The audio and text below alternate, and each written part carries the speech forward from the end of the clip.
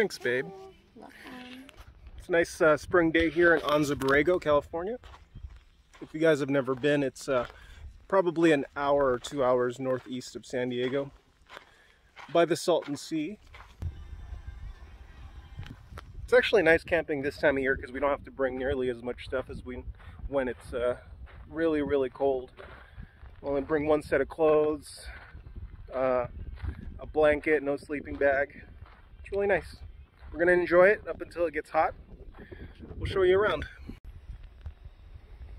Pretty.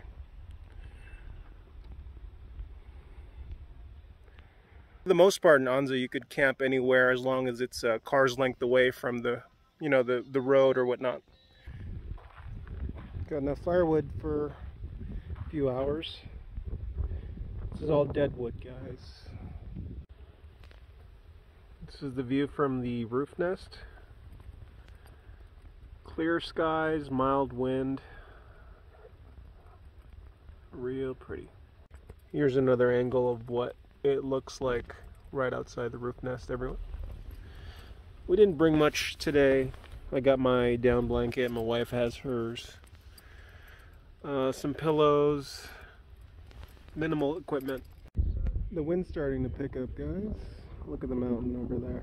Alright guys, it's getting cold. Colder than I expected, actually.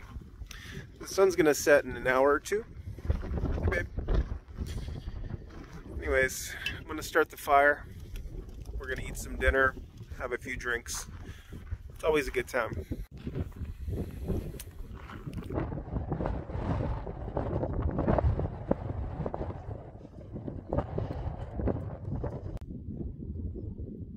Are you taking a picture?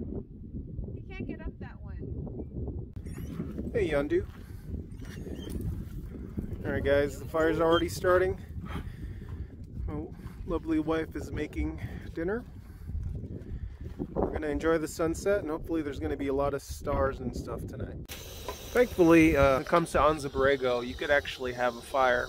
Um, I think I think most of the year, as long as it's in a metal container. Whoa, that's too hot. Backing up.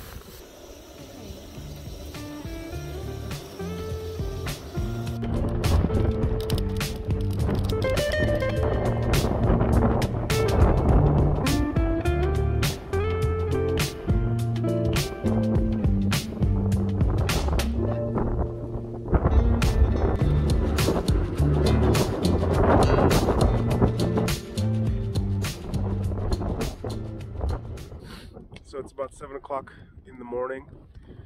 The weather was uh, windy. It was super windy last night, but it wasn't too bad. We've been in worse. As you can see, the trailer survived. We'll see what today has in store for us. I think we're going to hit some trails, but we'll see. We'll see how uh, uh, everything goes from this point on. Letting it all drain out. Oh yeah, undo.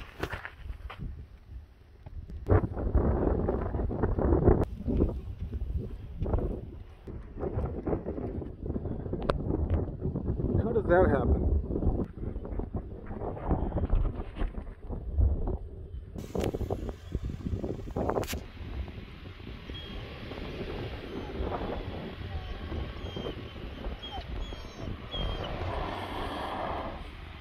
There you go.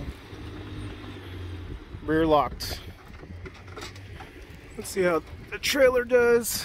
Good job.